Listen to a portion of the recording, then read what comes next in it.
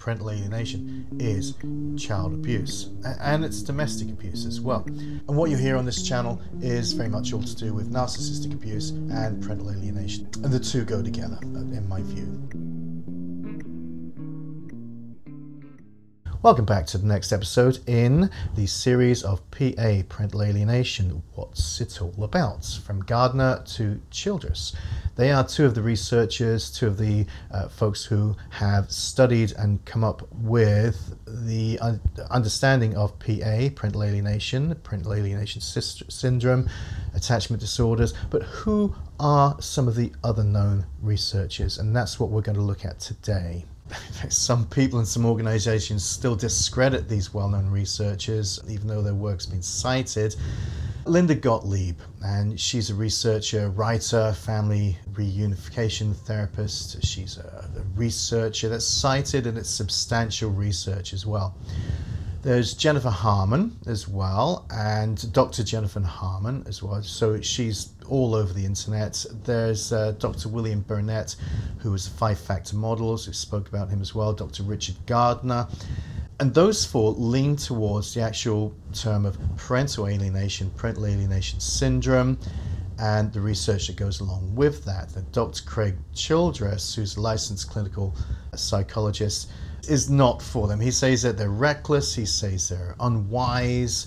Because they reject the American Psychiatric Association uh, diagnostic guidance and they reject the American Psychological Association ethical guidance. Now, I don't know if they do or not, but that's just what uh, Dr. Childress is saying. And basically, that they practice outside the boundaries of their professional competence. And that's what Dr. Childress is also saying. But all of them agree that parental alienation in some form does exist. Now, there's also Dr. Amy Baker as well. There's a lot of information about latent vulnerability theory on Karen Woodall's website as well, and her blogs. There's loads of cited research.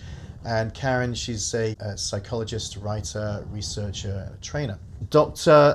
If I get this name wrong, I, I really apologize. Dr. Demosthenes Lorandos. He's an attorney, forensic psychologist. There's a whole bunch of people out there that you can actually go research, and uh, not just parental alienation, but also um, they would know about sociopaths, psychopaths, uh, cluster B personality disorders, you know, narcissism, which is all part of this as well. So you've got Dr. Edward Kruk, you've got Dr. Petra Dieter, uh, you got Dr. Jayne Major, fantastic.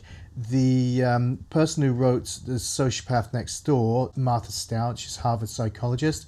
You got Doug Darnall, Richard Warshak, Bill Eddy, and you got the person who wrote Stop Walking on Eggshells, that's Randi Kreger. So, so many of them. Incredible people, too it would be really awesome to hear your views, to hear comments, any of your history, what you're going through as well down in the comments. Till then, please do take care of yourself, okay? God bless you. I'm Jack. All the very best. Bye bye.